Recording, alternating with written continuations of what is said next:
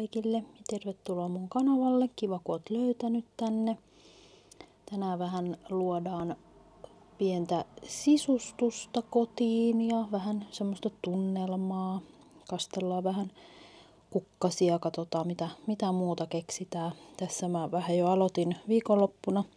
Siirsin tuolta pesukoneen päältä tämän pinkin tabletin tähän mun yöpöydälle. Mä ajattelin, että on kiva tässä vähän suojaa myös tätä lasipintaa. Mulla on aina täällä lähellä vartalorasva. Ja nyt sitten eilen sain äidiltä semmoisen paketin. Siellä oli tytöille meikkejä ja kaiken näköistä, mitä hänellä oli niin kuin ylimääräisenä. Niin siellä oli myös muutama tällainen, niin mä otin itselle nyt tämän testiin. Mä katoin tätä viimeksi normaalissa, kun käytiin.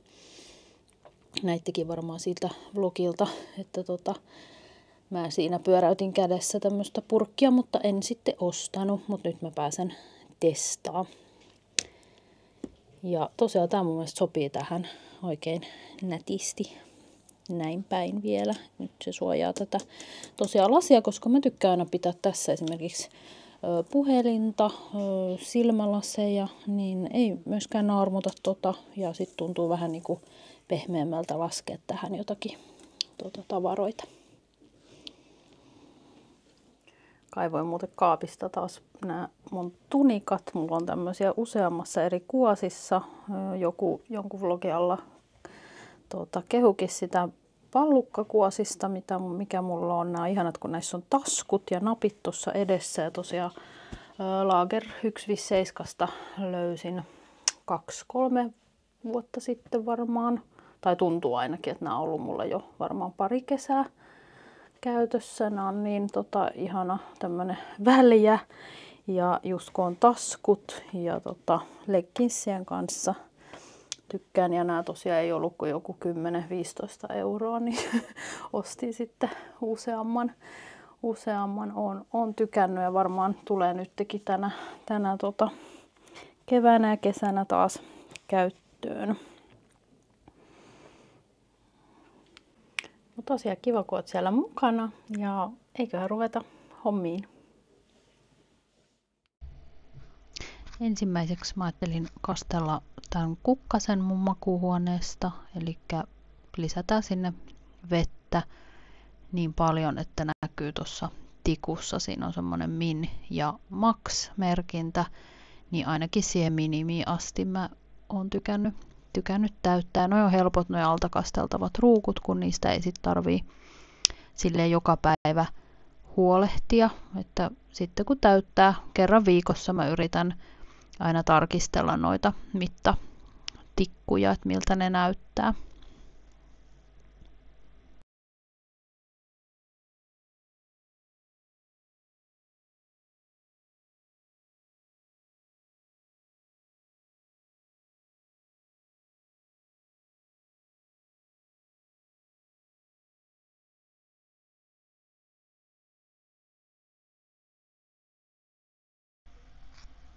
Tässä on sitten tämä isompi kukka. Ne, jotka on seurannut mua pidempään, varmaan muistaa. Tämä oli meidän edellisessäkin asunnossa. Tämä on se Lidlistä mun ostama, joka oli aika pienen kokonen. Ja tota, viime vuoden, olisiko ollut syksyllä, siihen alkoi ilmestyä semmoisia mustia pilkkuja. Mä olin jo heittämässä kukkaa pois. Mutta nyt kun mä tänä keväänä siihen vaihdoin tosiaan mullan ja isomman ruukun, niin sehän voi oikein hyvin. Ja tota, tässä mä rupesin jo sitten ottamaan puhtaita kuivuneita pyykkejä telineeltä. Miten noita pyykkejäkin aina, aina vaan kertyy, siis joka päivä melkeinpä. Yksi, kaksi koneellista tulee pestyä vielä enemmän välillä, kun tota, jos on isoa lakanapyykkiä, niin mä pesen yleensä erikseen. Ja sitten aina vähän joutuu miettimään, että mihin, mihin noita saa kuivumaan. Meillä joku kaksi telinettä tällä hetkellä käytössä ja en mä nyt kyllä enempää haluaisikaan. Ja tämä, minkä mä tässä just laitoin pois, niin se on itse asiassa vähän jo vääntynytkin, että täytyy katsoa, pitäisikö hommata uusi jossain vaiheessa ton, ton tilalle. Mutta ihana tälleen puuhastella kotona. Mä tykkään niin paljon. Tossa kun mä olin viikannut noin pyykit, mä huomasin, että noi kukat vois vähän taas leikata niille niin kuin uutta imupintaa. Ne oli siis avautunut jo sen verran, että tota, milloinkaan mä noin laitoin. No, on siitä nyt jo useampia päiviä, niin tosiaan vaihdoin veden ja leikkasin vähän tota imupintaa, niin ne pysyy ainakin vielä viikon hyvänä tuossa maljakossa. Ja voi että ne on tosi nätit ja itse asiassa ne ei ole vielä edes kaikki niin kuin kunnolla avautunut, että kyllä mä luulen, että vielä jopa reilun viikon pysyy. Ja voi olla, että vielä lyhennän sitten noita pidempiä, mitkä tuossa näkyy. Niin tota, mutta sen aika näyttää. Mutta noita on mun mielestä ihana, ihana pitää noita maljakossa. Vitsi kun ne piristää aina kun katsoo, katsoo tota olohuoneen pöydälle. Et siellä on jotain tuommoista kaunista ja keväistä. Mä tykkään. Taustalla näkyy muuten nuorison ruokapöydän tuolit on menossa heidän ensiasuntoon. Joo, meillä on täällä tämmöisiä isoja muutoksia.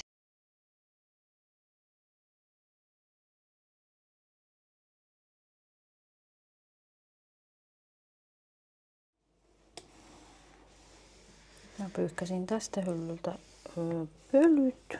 Sitten ei ole kauaa, kun mä oon tota siivonnut, mutta joka päivä tähän, tähän tota kerääntyy. Ja sitten laitetaanpa siihen tämmöiset, mä sain mun äidiltä eilen myös tämmöiset lahjaksi. Niin tota, laitetaanpas nää tähän näin.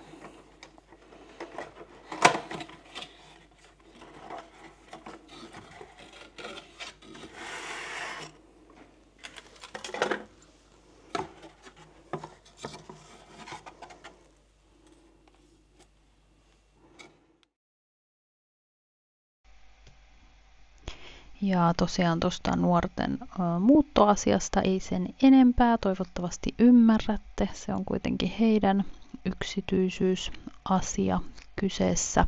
Ja muutenkin pyrin tässä vlogilla kertomaan vaan niin kuin omia, omia asioita ja mitkä niin kuin liittyvät minuun. Toki sekin liittyy, mutta ei siitä sen enempää. Isoja muutoksia meidän perheessä taas tapahtuu. No niin, hetken joudun vähän taistelemaan. Täällä oli siis tämmönen kuminen korkki, mikä ilmeisesti pitää ottaa pois, koska muutenhan noita tikkuja ei tänne saa. Mutta sain sen vähän saksien avustuksella. Mutta siis tää on aivan ihanan näköinen tää purkki. Jo ihan niinku itsessään. Tännehän voisi laittaa vaikka yhden tikun kerralla, jos haluaa, mutta mä tykkään miltä se näyttää, kun siellä on ne kaikki. Aivan ihana.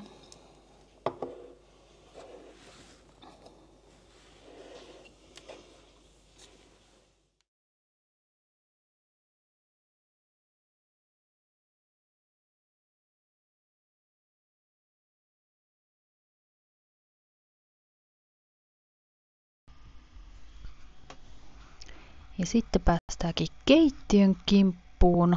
Tää on niin oikeasti kaos joka päivä. Joka päivä on tiskiallas täynnä. Joka päivä joutuu täyttämään ja tyhjentämään astianpesukonetta. No ihan ymmärrettävähän se on, kun on monta, monta syöjää. Ja, ja tota, mutta on niin kuin loputon toi tiskirumba.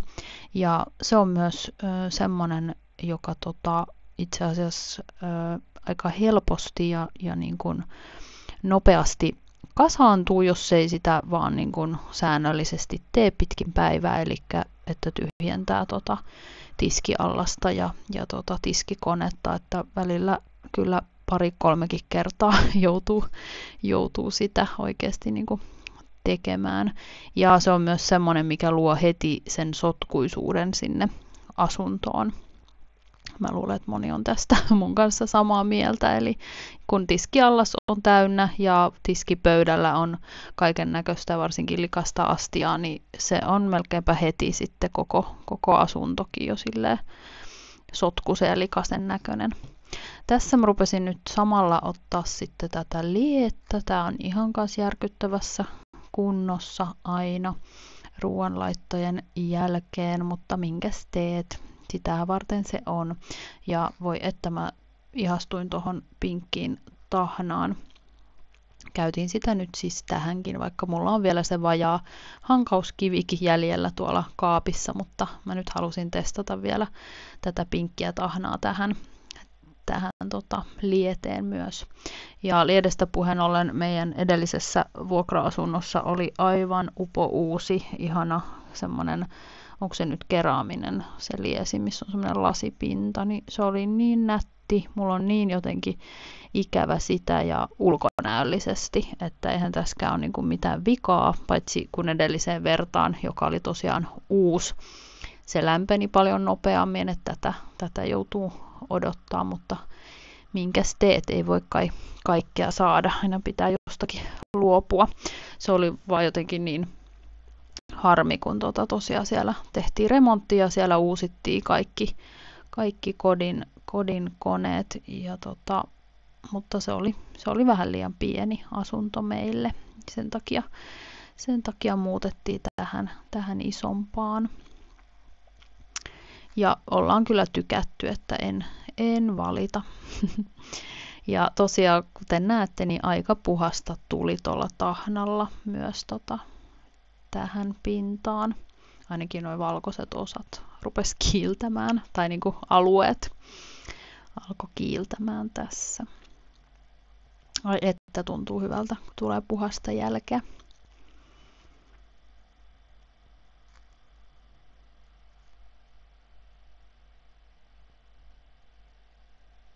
Ja tosiaan, kuten sanoin jo edellisessä vlogissa, niin voin suositella tätä tahnaa ehdottomasti. Ja itse ostin siis normaalista. No sitten tämän hyllykön kimppuun. Tämä on myös mun yksi lempipaikka meidän keittiöstä. Onneksi tajuttiin jotenkin, tuli semmoinen vaan idea silloin, että hei, laitetaan tämä yksi hylly tähän.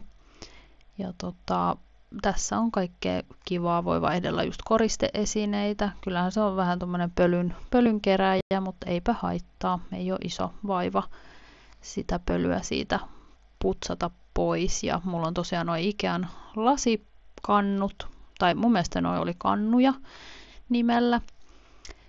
Niin tota, mulla ne on täytetty tommosilla kaikilla kuivilla jutuilla, rusinoilla, sitten tuossa näkyy kuvassa anana, ananaksen paloja. Ja sitten on mysliä ja kaurahiutaleet on välillä ollut myös tuommoisessa pullossa. Nyt se on vaan pesussa. Ja sitten tuo isompi purkkikin, mikä tuossa näkyy, se on myös Ikean. Niin siellä on ollut milloin kaakauta, milloin muroja. Musta on kiva välillä niitä niinku vaihdella vähän oman, oman mielen mukaan ja fiiliksen mukaan ja milloin mitäkin sitten noihin haluaa ostaa. Sehän on ihan, ihan itsestä kiinni, voit, voit päättää ja vaihdella peset välissä. Niin tämmöistä kans tuli samalla tässä nyt tehtyä. Vähän puhistusta ja vähän täyttämistä ja vähän järjestelyä. Ihanaa, kun on silloin kun on tota aikaa ja oikein fiilis. Ei, ei näitäkään aina, aina tota, kiinnostaisi tehdä todellakaan, varsinkaan ainakaan minua, että se on myös vähän semmoinen, että monta päivää saatan niin kuin katsoa niitä purkkeja, että siinä ne on tyhjillään, mutta ei vaan jotenkin saa aikaisiksi. Ja, mutta sitten kun, kun päättää vaan joku päivä, että hei, nytpä mä täytän ne, niin sitten ne tulee niin kuin pyyhittyä ja, ja täytettyä. Ja, ja sitten onkin taas ihana, ihana fiilis, kun, kun sai sen tehtyä. Tämä on myös lasinen vaaka, siihen kerääntyy myös aina pölyä. Tota käytetään aika paljon silloin, kun leivotaan. No sitten kananmunat. Mä en muista kerroinko mä, taisin mä jollain vlogilla ohi mennä mainita, että mun nuorempi tyttö keksi, kun meillä oli tuommoiset telineet, ne oli jääkaapin ovessa ja me ei ikinä siellä pidetty noita kananmunia. Niin tota, hän keksi sitten, että laitetaanpas ne tuohon hyllylle nätisti esille. Ja siitä on oikeasti tosi näppärä sitten ottaa, kun sä näet ne siinä. Ja just eilenkin illalla, illalla niin No niin, Luna täällä haukkuu, kun mä yritän äänittää tätä vlogia. Niin, niin helppo, kun sä näet tosiaan ja sitten vaan otat siitä muutama ja sitten kun rupeaa tyhjenemään, niin helppo täyttää. Ja muuten sitten kananmunat, niin me säilytetään tuolla kaapissa, koska ne ei oikein muualle, muualle mahdu.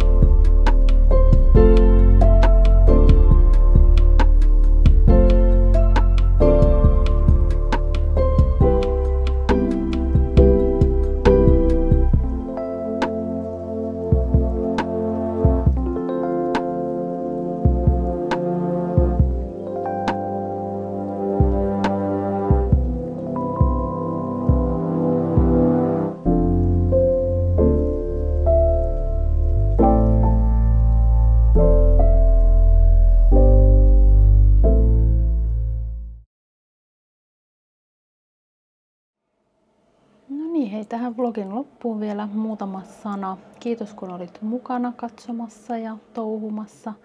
Mun ö, päivässä saatiin paljon pieniä, pieniä kivoja juttuja taas aikaisiksi.